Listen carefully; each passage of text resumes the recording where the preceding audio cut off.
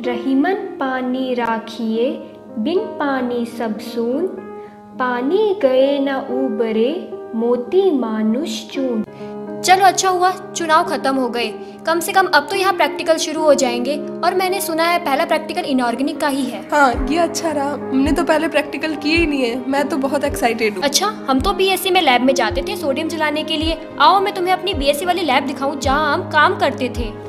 ये देखो लैब ये तो बहुत गंदी है इसमें से तो स्मेल भी आ रही है। केमिस्ट्री लैब से तो स्मेल ही आती है। चलो सर से पूछ आते हैं स्टाफ रूम में अगर चाय खत्म कर ली हो तो कौन सा प्रैक्टिकल करना है? मैं पहले ही पूछ आई हूँ। पता नहीं कुछ अजीब अजीब सी बातें कर रहे हैं। कॉपी पेन एप्रिन और एक क्वेश्चन भी दे दिया है सॉल्व करने को। आगे से मैं तो कभी जाऊँगी ही नहीं। पहले दिन ही क्वेश्चन कौन देता है? बता क्या क्वेश्चन है?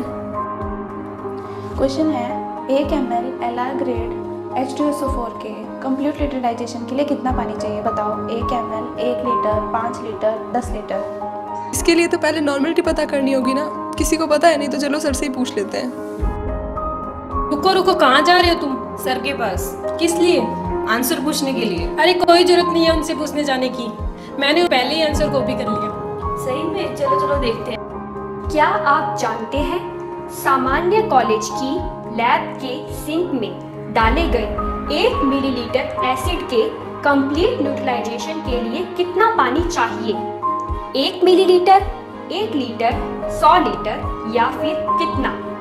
आइए साइंस कैलकुलेशन देखें। बीस हज़ार लीटर जी हाँ लगभग बीस हज़ार लीटर यह एसिड की नॉर्मलता पर निर्भर करता है।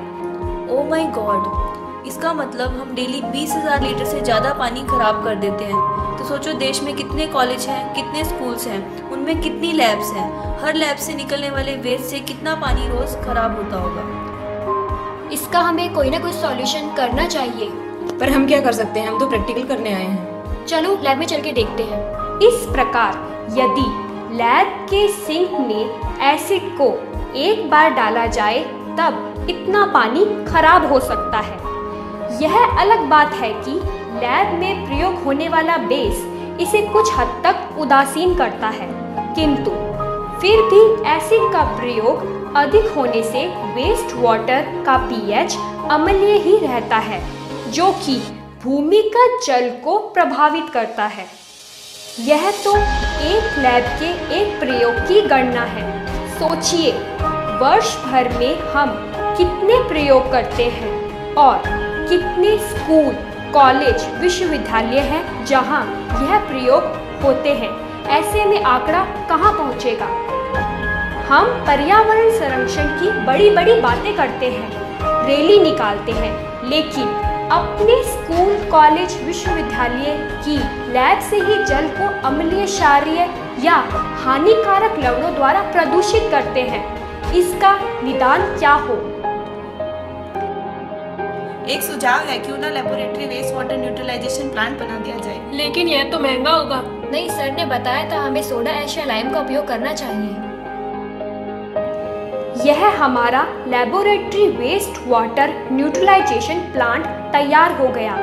हमें और गवर्नमेंट डूंगर कॉलेज को इस पर गर्व है कि यह पहला treatment plant government Dungar college की लैब में लगाया गया है। डूंगर कॉलेज का यह प्लांट नवागंतुक विद्यार्थियों के लिए लर्निंग बाय डूइंग का उदाहरण बन उन्हें सिखा रहा है। पानी की रक्षा है, विश्व की सुरक्षा।